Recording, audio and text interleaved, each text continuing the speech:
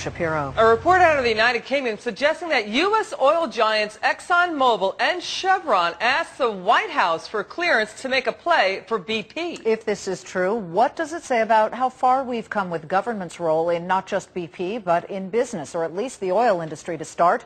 To former Reagan economic advisor Art Laffer. Welcome, Art. Good to see you. Thanks for being here. Have you seen anything like this ever before? I haven't seen anything like this in years and years and years.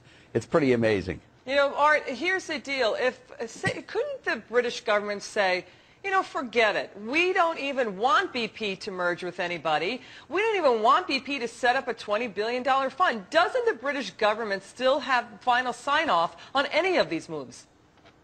I, I, don't know whether they do or not legally. I mean, I really don't.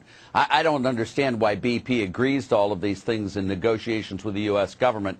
I mean, that doesn't make sense to me. But, you know, they, they are responsible for the damages. I mean, that's very clear but whether they should negotiate directly with the U.S. government for these types of damages, that doesn't make sense to me. This goes back to uh, the TARP money going into the auto industry, and there, there was a lot of sort of tinkering from members of the administration. There was the car, dar, car czar, Mr. Rattner, who was, who was making some yeah. calls there, and, and there's a car recovery expert in there as well, Ed Montgomery, who's, who's less of a sort of a, a, an overseer of the situation. But what does this really mean for American business?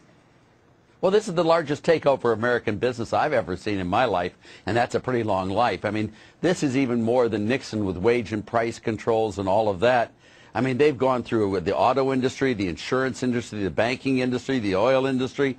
I mean, it's just amazing how far they've gone. I mean, the health care bill alone, and if they got cap and trade in, I mean, it is really the nationalization of America. And if, if you want the post office to run your country, go for it. But I personally don't like any of it. You know, it's sort of like you get what you vote for. Nixon used to work in the Office of Price Administration. Remember that? I mean, we knew we should have seen sure this coming, and we should have seen this move also with BP was coming. Don't you think, Art, that the, it was a big victory for the administration to have this $20 billion fund, and they're going to fight to protect it? In other words, they're telling BP, you have to tell us about any asset divestitures, any merger plans, any acquisitions you're going to do. Isn't that the key here, is protecting that $20 billion fund?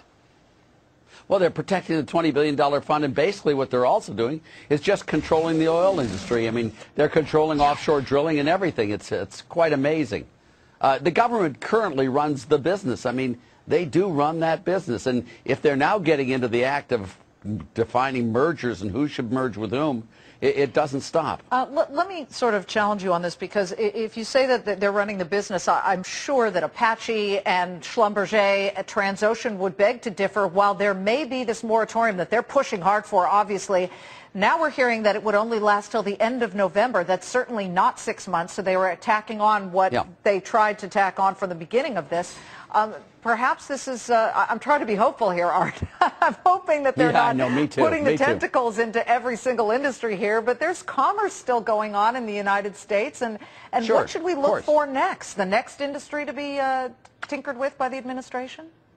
Yeah, well, you know, what they did was they got the rejection of the six-month moratorium, so they're trying to do a shorter moratorium on that. But what I think we have to look forward to, Liz, is really what happens in November, the other event that's going to happen in November. Not only does the moratorium expire then, but we also have elections. Exactly. And we'll just see how the people respond to the elections, because people ultimately deserve the governments they get. And if this is what they want, God bless them. Let them go for it, but it's not what I want. Economist Art Laffer, he of the Laffer curve. Good